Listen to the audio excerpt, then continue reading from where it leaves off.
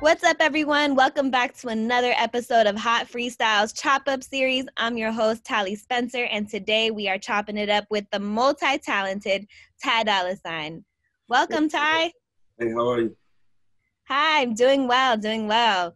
You look like you are big chilling over there. right here at the house. Just woke up like an hour ago, and um, you know, it's a good day. Happy to be here. Um, yes. Beautiful just, day. Well, thank you so much. This just came in the mail, by the way. What is that?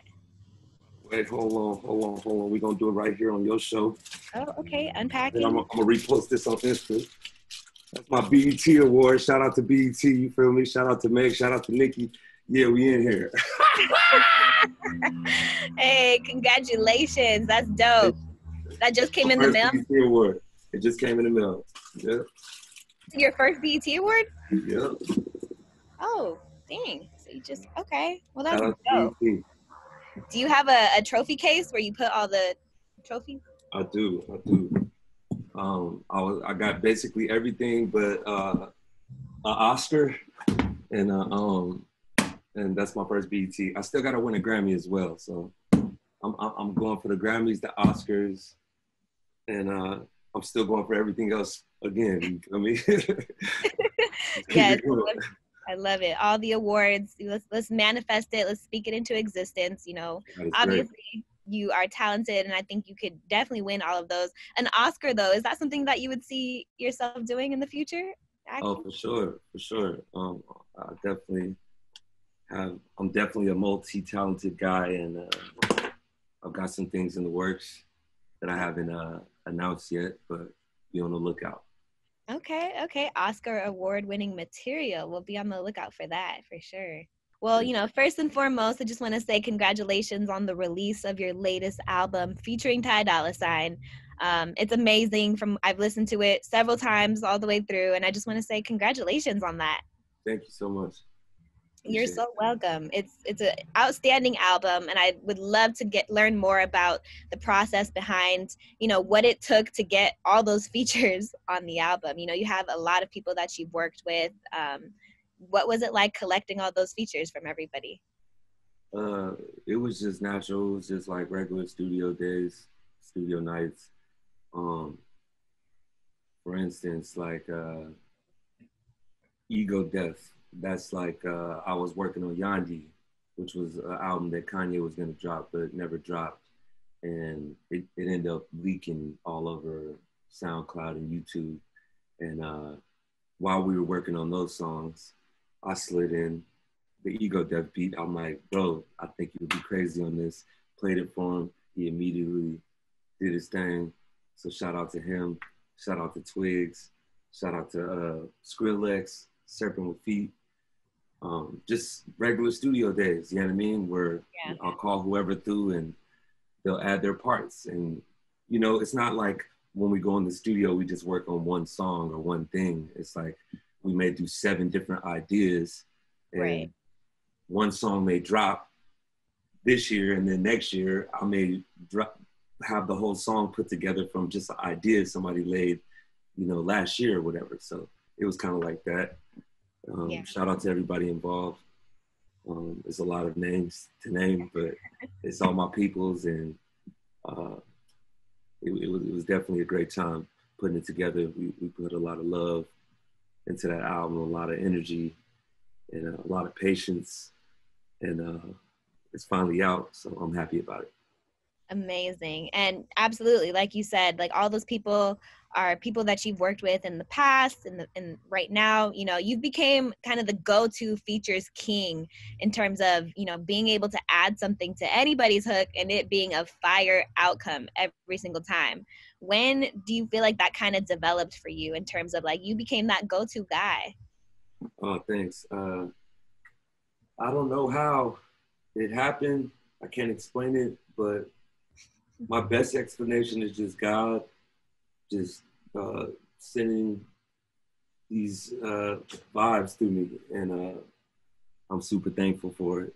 And uh, I'm, I'm just happy to be able to feed my family and uh, make a career out of having the most fun time I can ever imagine in life.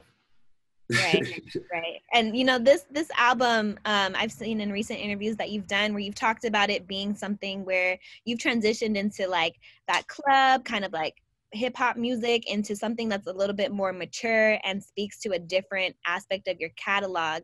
So I know, um, you know, this was supposed to be the follow up to the Beach House series, and you originally announced that it was going to be titled Dream House, but you know, right before the album released, you made it um, featuring Ty Dolla Sign instead. Why did you kind of choose to break the cycle of, of the Beach House series and turn it into something new? Because the Beach House series uh, is that it still can't come back, you know, and it's still my I still have that album as well, Dream House, but um on this this um I just had a dream like literally like a week before the album came out that I should drop featuring Ty Dolla Sign. I just saw it like on a billboard or something in my dream and it was dope and like just the idea of like you know people know like when they see that like what it's gonna be so let's just make a whole project out of it. And I'm like, wow, I got all these songs. Cool, let's get them cleared. Let's, you know, let's finish it. Let's put it together and make it all one body of work. And like, let's make it like to where you don't even want to skip. You know what I mean? Let's make it to where it's just like a playthrough. And uh, from every ending to every beginning, it matched. Like you wouldn't even know it's like the next song until probably like number seven or number eight. Yeah. So um, I think we conquered that. And shout out to all my fans. Shout out to Team Dollar. You know, I couldn't have done it without them. And um, I'm happy to be doing happy to be doing this. Right. Right, absolutely. So with you know being able to focus on your project this time around, you've still been working. You've still been you know giving out features and being on everybody's song until this point. How do you kind of balance being able to work on your own project finally while still you know helping out pretty much everyone else in terms of giving out features and things like that? Because like I said, like if I go in the studio with somebody best believe it wasn't just that one song. Like we did like four, five songs that night. You know what I mean? So one of them for you, one of them for me, one of them we might it might fit another artist. You know what I mean? And like I'll I won't even be on the song, and you won't even be on the song, or maybe whoever one of us might be on the song and a whole nother artist because I also write songs and produce songs for people. You know what I mean? So right. I feel like, like I said, when God sends sends the vibe through, you got to just put it down. You know what I'm saying? you gotta put it down. I love it. And um, as far as like the topics that you've been able to talk about on this project, I know you've always made sure to keep family very involved. You know, your brother TC is always a part of your project in some way. How important is it to you to keep your family involved in in the music that you're making? It's definitely important uh, to keep family involved in anything. Uh, just like I couldn't do it without Team Dollar, I can't do it without my family. Um, and my brother's going to be involved in anything I do, and I'm going to be involved in anything he's in. And um, we're still fighting this case. Uh, we got a lot of, you know, uh, good help involved, and um, I'm happy. And and uh, thank you guys, everybody that got free TC, to help me spread the message of you know, social injustice and and uh, thank you for just being here with us from then to, to forever. You know what I mean? Right, right. Did he get a chance to listen to the album? I'm sure he did. Uh, once it came out, I know they get uh they get albums in there. So I'm sure he heard it. Have you spoken to him since the release? Not yet. Not yet. Okay. Okay. Cool. I wonder what his reaction is going to be when he hears it. Maybe too. That'll be exciting. And, you know, speaking of being with your family and, and having them involved in everything that you do, you've had a lot more time during the quarantine to be at home and be a part of your daughter's life, as you mentioned in other interviews. What has it been like, you know, watching her transition into high school and, you know, being able to, to be at home with her more often? It's been amazing. Uh, I've definitely run into the teenage moment the teenage moment. What yes. do you mean? that, that any parent will tell you about, like just all my older homies, my mom, they would all tell me about this moment when that when they, you know, when a kid comes out of the kid moment into the teenage moment, and I definitely met Jalen the teenager, and uh, you know, I got a lot of love for that kid. She's uh her most recent report card, three A's, three B's. She's doing her thing, and it's, it's it's been crazy. I'm sure for all parents and for all kids that are in school, uh, to see her conquer this Zoom thing. You know what right. I mean? Like Zoom yeah. class and like kill it, and I'm proud of her. So shout out to Jalen. Amazing, and congrats to her on that report card. We see her out here. Um, do you feel like you've been able to kind of connect with her more often now that you're you're home more? She gets to see you know what you do every day, and like you yeah. being at home and being involved in the music. How has that changed your relationship with her? Uh, it's definitely uh, it's definitely been a, a ride. You know what I mean? But a beautiful one, and I love it. I love every every bit of it, and I love having her come and sit on sit on that chair back there and just watch me. But at the same time, it's like a passive aggressive, like Dad, let's go like do something else. You know what I mean? Like trying to pull me away from it. But um, it's great. It's great, man, to just balance, do this and be able to do it, and then especially at, at this time and be able to like really like get whatever I'm doing out and still be able to like go do dad time. You know what I'm saying? Yeah, exactly. D- dad time, like you said, is very important. Um, and I'm sure she appreci- appreciates you too for being more involved and being able to see you more. You know, you're not out and about as often, so I'm sure yeah. she she's loving that too. Yeah, I remember she used to tell me, uh, "Dad, why can't you just be like a uh, like the postman, the mailman?" You know what I'm saying? so you can be here every day. And I was like, damn, man. Like, I wish I could, and, you know. Right. I got right. my wish.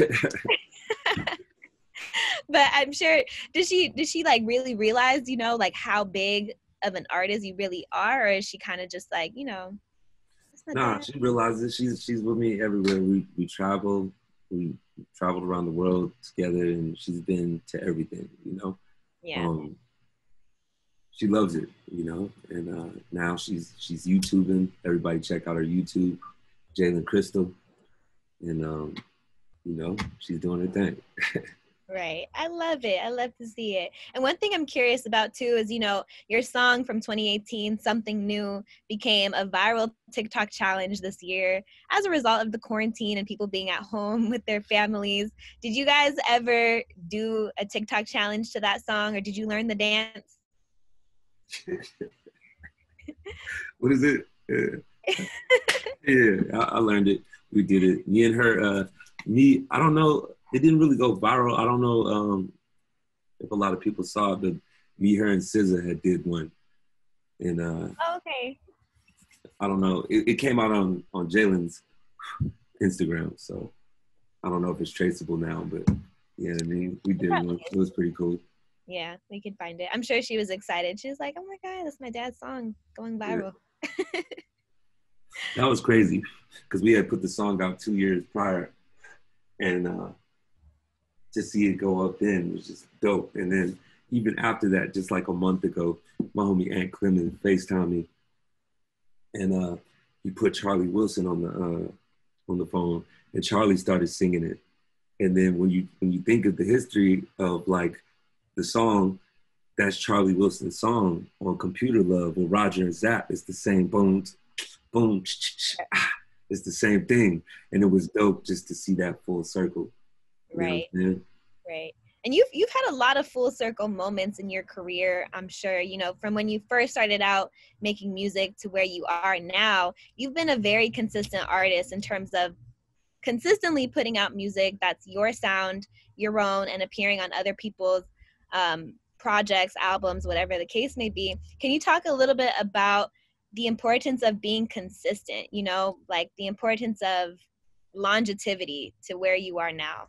Yeah, uh, consistency in anything in life will definitely uh, bring great results from uh, my experience and from me seeing any of my uh, my peoples do anything, you know, uh, from playing golf. Like I didn't see like my homies like start from nothing and then go crazy. I didn't see my homie Chad Johnson, Ocho Cinco, when I was a, when I was a young dude, start out here going to Santa Monica College, and you know my homie Big B taking him, you know, j- just on off days to run around Audubon, which is a middle school. You know what I mean? Just run around the track all day, all day, all day, and then he became Ocho Cinco. I didn't see. There's so many people I could name, like Mustard, coming to my crib and just mm-hmm. be a young dude and we bagging on each other, like talking about each other's shirts and just you know just talking mess, like right. and and he's a DJ and doing high school parties, and then all of a sudden he becomes mustard. You know what I mean? YG yeah.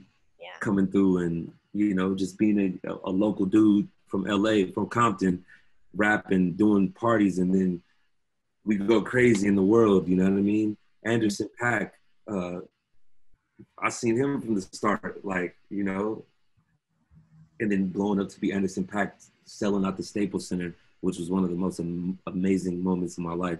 Seeing Russ from like going from SoundCloud to selling out the Staples Center on his own, like without radio hits at the time, like that was crazy to me. It, it's, it's, just so many people I can name. Thundercat, uh, being a bass player, like playing on all the old Sa-Ra creative. I, I, came from that that circle as well. Uh, Sa was my first feature uh, on that album up there. Uh, uh, and then they took me to London or to Europe for the first time. That's how I met Kanye through them, and same same circle Thundercat came from to seeing him playing bass on everybody's stuff to becoming this artist that he is now, one of the greatest in the world. And mm-hmm. it's dope for sure.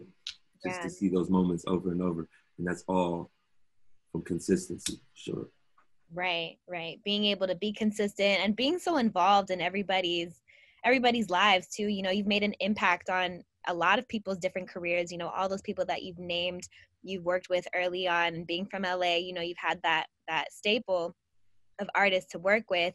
And, you know, speaking of being from LA and holding down the West Coast on a national level, you've recently been compared to Nate Dogg and, you know, with Snoop Dogg saying that you're his his reincarnation. How do you feel about that statement? Do you agree with it or how do you feel about it?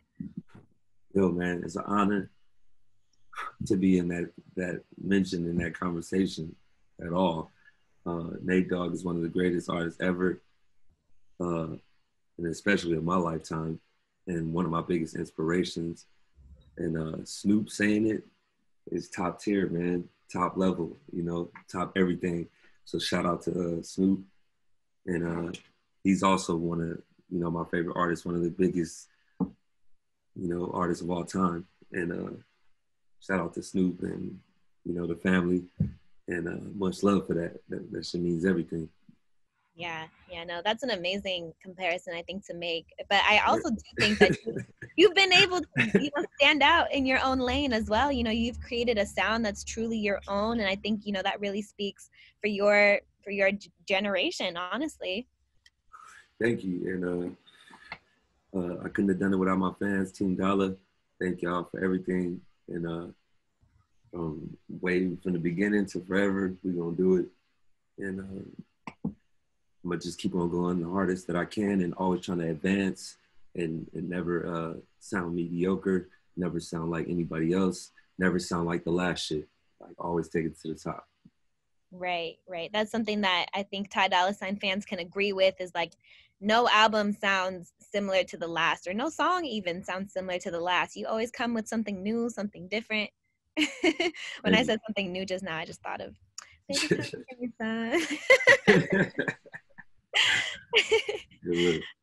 right. Um, but there's a few songs on the album that stand out to me. Uh, My Turn is specifically one that I really love and I think is very relatable. Um, you've also mentioned that you think it's one of your favorite songs from the album. Let us yeah. know what's the real meaning of it's only your turn. What do you mean by that?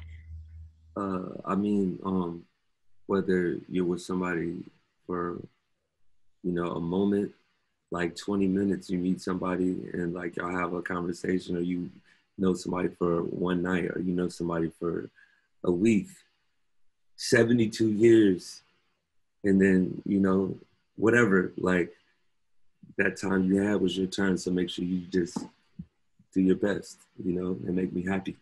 You know what I mean? Appreciate that time. If you love somebody, call them and tell them you love them while they're here, you know, because everybody has an ending point.